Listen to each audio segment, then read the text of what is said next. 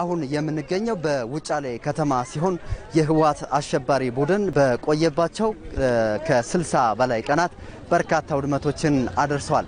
በርካታ ዜጎችም ቤታቸው ተዘግቶባቸው ያለምንም እንቅስቃሴ የሚበሉት የሚጠጡት አጥተው ቆይተዋል። ህይወቴ ናት የከረመችው ነፍስ ያልወጣችም እንጂ አለሁ መቼም ያው ሌት ቀኑን ግን እየጸለይኩ ቅዱስ ሚካኤል አውጥቶኝ እዚህ አድርሶኛል ነው ምለው። እንኳን የደረሰልኝ ነው ምለው። እኔ አስር ሬሳ ነው አንድ ጊዜ እዛው ጎድጓዳው ውስጥ ያገኘሁት። አስር ሬሳ በአንድ ቦታ እንትን ብለዋል፣ ተነባብረዋል። እንደው ምንም እኔ ቃላት ያጥረኛል የእሳቸው ጭካኔነት በእውነት እና እግዚአብሔር እንደ እውነት ከምድረ ግብፅ ያጥፋልን እኒህ ሰዎች እንደው ሌላ ምንም አላላቸውም። እኔ እንደው እና ይህ እንደዚህ አይነት መከራ ነው ያደረሱብን እላቸው ፈልጌ ነው። ሁለቱን sister ኦችን ያው በጥይት መትተዋቸዋል። ሰክሮ ማለት ነው። ቤት ላይ የጎረቤት ቤት ክፈቱ ብሎ አልከፍትም ሲሏቸው ሁለቱን ሴቶችን በጥይት መትተዋቸዋል። ያው አንዷ ተሰብራ ቤት ነው ያለችው። ያው ከውጭ መታ በስምንት ቀን ስምንት ቀን ምናምን አልሆናት ያው ቤት ይመጣሉ። በጣም ያንገላቱናል፣ ገንዘባችን ይዘርፉናል። እንደገና ደግሞ ያው ሴትን ብቻ ታገኙ የመድፈር ባህሪ ያመጣሉ ምናምን በቃ ያላደረጉን ነገር የለም። በጣም ብዙ ተጽዕኖ አድርሰውብናል።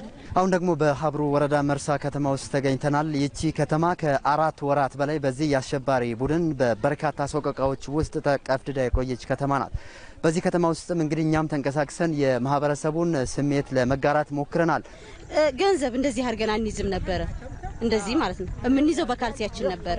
ያውቃሉ እነሱም የጡት ማስያዣና ካልሲ ነበር ገንዘብ የምንይዘው። ሰዎችን በጨለማ እየወሰዱ የሚገሉበት ቦታ አይታወቅም። የሟች ቤተሰብ እንኳን መቅበር የማይችልበት ደረጃ ላይ ነበር የደረሰው።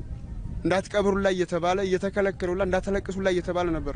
ራሙተናል፣ አልቀናል። ምንም ነገር ያገኘው ነገር የለንም።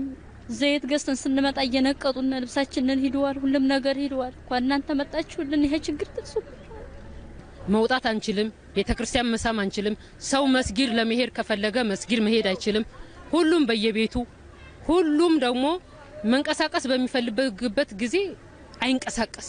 አሁን ደግሞ በሀብሩ ወረዳ ውርጌሳ ከተማ ውስጥ እንገኛለን። ይቺ ከተማ ለወትሮ በአሸባሪው የህወሓት ቡድን ለሁለት ወራት ያክል በብዙ ሰቆቃ ውስጥ ያለፈች ከተማ ናት።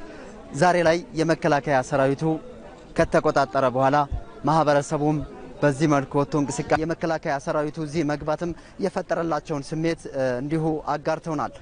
ሁለት ወር ተወልዶ ተወልደን እንደገና እንደገና እንዳዲስ እንዳዲስ ነው የተወለድ ነው። ሁለት ወር ሙሉ ምጥ ያንን ምጥ የተወለድንበት ቀን ነው። አሁን ዛሬ ትናንትና፣ በተለይ በትናንትና ዕለት እና ደስ የሚል ነው። እንዲያው እስከ መጨረሻው እግዚአብሔር ከምድረ ግብፅ ያጥፋልን ወደዛ እነዚህን አረመኔዎች ሰዎች። እኔ እውነቴን ነው። እኔ በእንባ ነው የተቀበልኳቸው። ደስ ብሎናል። እምልህ ሰላም በጣም እኔ እንጃ ምን ምን እንደሚከፈልለት አላቅም ነበር። ህዝቡን እንደምታዩት ነው የውጫሌ ከተማ ህዝብ፣ የአምባሰል ወረዳ ህዝብ እንግዲህ አምባሰል ወረዳ ታሪካዊ ቦታ ናት። ያው ህዝቡን እንደምታዩት ነው በደስታ ነው ያለው እስካሁን ድረስ። መከላከያው ሲገባ ያው በቃ ፀሐይ እንደወጣልን ነው ያስብነው።